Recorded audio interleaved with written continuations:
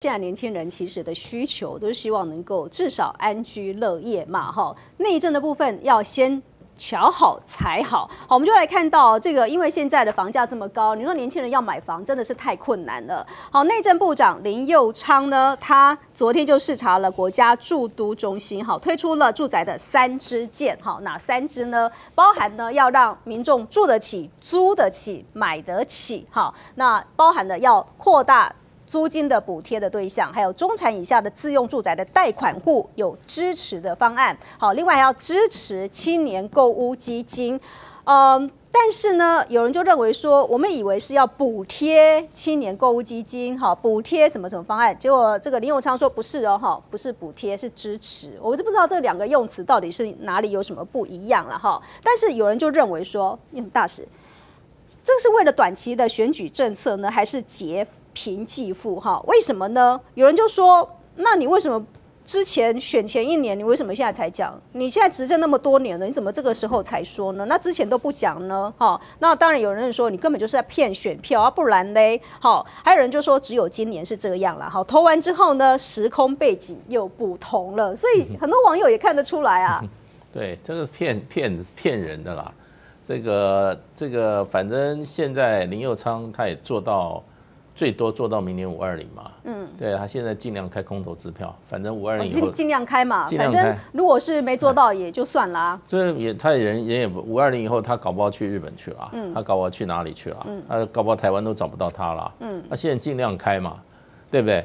这个不是补贴，是支持，支持意思说青年购物基金是民间的基金吗？嗯，他在那边敲锣打鼓说，我帮你支持一下，嗯，那基金从哪里来嘛？对。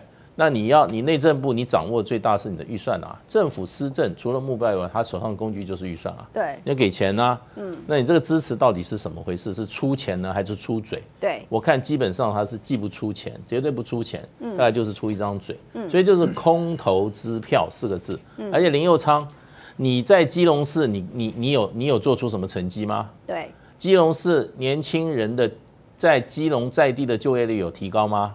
整体基隆创造出的就业就业机会有增加吗？请问一下，嗯，现在基隆的这个哈港口的这些哈这些所谓的这个哈船务公司的理事会啊，嗯，都在讲基隆林林佑昌把基隆港给毁了，嗯，回港，回港啊，对，因为他要把他这个靠这个哈靠这个靠基隆啊东侧的这边啊这些码头啊这些货柜码头啊，他要迁移到西边去。哦，他要把基隆的这个啊一个天然良港改成一个公园，他要公园化。请问一下，这样子的一个改变？因为他没有他没有经他没有执政的经验，他不晓得一个城市最重要是它的经济活动。嗯，他想把他的大学学的是都市景观设计。你每天设计景观，拜托啊，那个城市的人要吃饭啊，不是你把它都改成公园，结果大家都来公园干嘛？晒太阳，找不到工作。对，所以这个人基本上是，我觉得是在基隆浪费了基隆八年。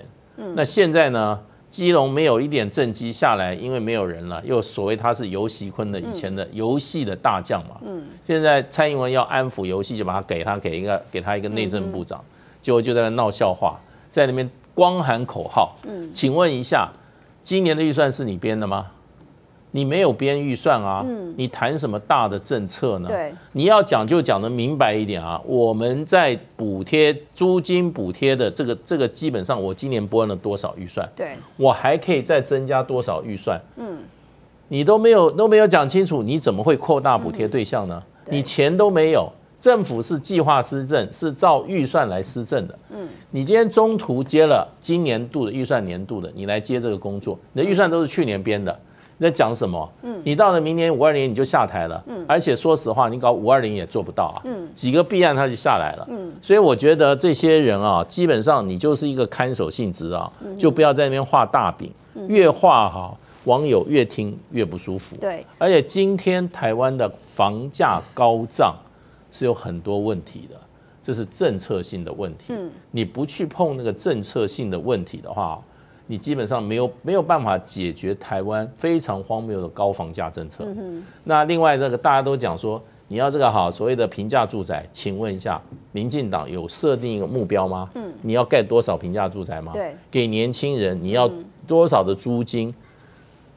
柯文哲设了一个大目标，八年什么都没实现，嗯，实现了一一部分百分之几，他也不敢人跑了，嗯，对，都会画大饼，嗯，所以呢，现在这个只有最多只有一年多一点寿命一个内政部长讲这么大的计划，嗯，他不自己不觉得心虚吗？嗯，手上没有工具就不要画这种哈。天大的大饼，然后呢，以为大家都是傻瓜，嗯，然后去碰这个住宅政策，这个住宅政策也不是你租金补贴，你也不是自助贷款问题可以解决的，嗯，你很多相关配套的很多东西，基本上建筑法规，这也是归你管的，对，很多建筑法规，然后呢，甚至你这个资金的流放的问题，你资金怎么样流，是不是要？珍惜、减息或任何事情，才能够真正解决这个住房问题。所以他在讲这边，就是说明明是补贴，嗯，又说我是支持。对，我觉得这种啊，自己头脑头脑都不是很清楚，也没有过去八年浪费了基隆八年的这样子的一个庸才，嗯，然后现在来管全国的哈，全台湾的这个房住房政策，嗯，你想想看，他除了讲这些空话、假话，这些什么，这些啊。那不要不好意思讲太难听，讲这些话以外，他还能做什么？对，所以呢，网友也看得很清楚嘛，说你三件现在随便讲讲，你三件不够哦，以后三支可以再来三支件啊，你要讲几支都没有什么问题啊。所以有人说他根本就是在支持炒房哦。内政部长林佑昌呢，在今天推出了住房的三件哦，这三件呢房是呃包含了扩大。租金的补贴的对象，还有中产以下自用住宅贷款户的支持方案，以及呢支持青年购屋基金的三个部分。我问一下大千委员哈，因为其中的这个房贷补贴的部分，有人就说了，这是在劫贫济富嘛，你把钱是拿给了有壳族哦。虽然你对于这些租房子的人有一些补贴，但是呢。从以前的历史的一个经验来看，其实呢，这些租房子的人要去拿到这个补贴，其实困难点还蛮高的，因为很多房东根本不接受嘛，所以你就是这个部分真的很难处理哦。但是呢，李永昌又说这不是补贴啦，就是一种支持，所以有网友就说哦，所以你是意思就是说啊，你当初我没有买房，你就是怪我了，所以你现在没有支持我嘛？你因为你把钱是给了这些有壳族嘛？好，原来呢是在支持炒房吗？那这三件以前。之前为什么都没有提出啊？现在是选前的最后一年了，而且大家都认为你就根本就是算是一个看守的内阁的情况之下，你提出这样子真的有用吧？现在的高房价问题，就如同刚才大使说，它其实是有各式各样复杂的因素哦，这个堆叠在一起的，绝对不是说政府今天用什么样的一个补贴政策就可以解决的。就是你大家如果看到现在的高房价问题，其实最主要的第一个原因是因为原物料价格大幅的上涨。然后工人的这个价格也大幅的，这个薪资也大幅的增加，所以现阶段的这个房屋哦，它在建造过程的成本就已经够高了。对。那么在这么高的情况之下，你要把房价压下来，这是第一个我们需要克服的困难了，就是如何把把这个建造的成本能够压低一点，然后同时要求建商把利润再压低一点，那么才有可能看到说房价。现在的所谓的这个新盖的这些呃建案的房价能够有下跌的可能，但是第二个关键问题是在于，过去长期以来政府一直是维持一个长期的低利率的政策，所以大家在银行取得资金很容易，很多炒楼炒房的人就利用这样的方式，用很低的利率从银行得到资金，然后开始进行炒楼跟炒房嘛。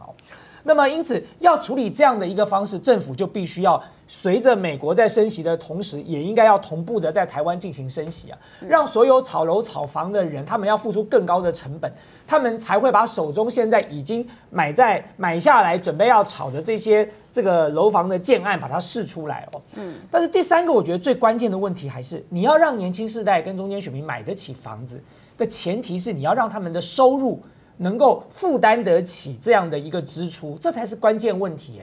就是你现在所有的补贴都是杯水车薪哦，都是这个治标不治本的，你是没有办法长期的持续下去的。所以政府现在应该要认真思考的是，我们要怎么样让我们的年轻朋友呃，如果他要买现在市售的这些房屋，那他要怎么样有足够的薪资所得收入来负担这样的支出？嗯，所以台湾的薪资水准长期以来一直被过度的低估啊，就是我们的年轻世代的这个薪资水平一直都并不高，这是我们现在一个非常严重的问题。嗯，就政府有没有这样的决心跟魄力，把把我们的这个年轻世代的薪资水平拉起来？那当然要拉起来是一个很复杂的问题。它包含你政府的相关的政策，你政府对这些企业的同步的鼓励措施，你政府能不能有效的振兴国内的经济，让国内的经济更好，这些东西都是必须同时在做的。那么当然，年轻的朋友的薪资水准就可以升高。那当然，最后一点啊，就是说，如果你这些东西都不行哦，就是建造的成本很高。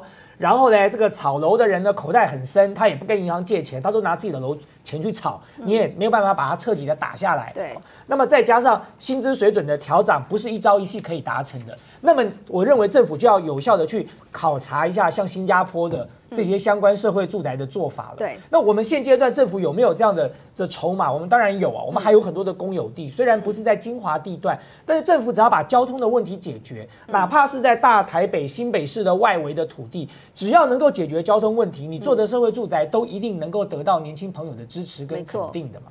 所以你要不要仿照新加坡的做法，用社会住宅的模式来？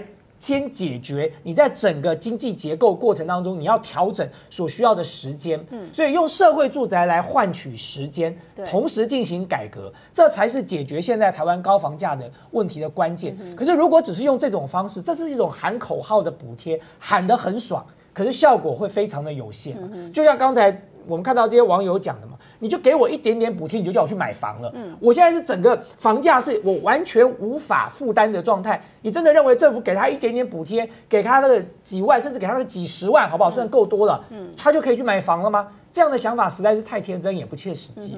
所以在台湾哈，要买个房，真的对年轻人来讲实在太难了。脑力耗尽，需要睡眠。睡前三十分钟，来包梦梦水，放松心情，舒缓焦虑，帮助睡眠，让你睡得好，精神就好。充饱电再出发，辣气的推荐代码 CPI 五六七，还有主播出人物 CPI 四四四。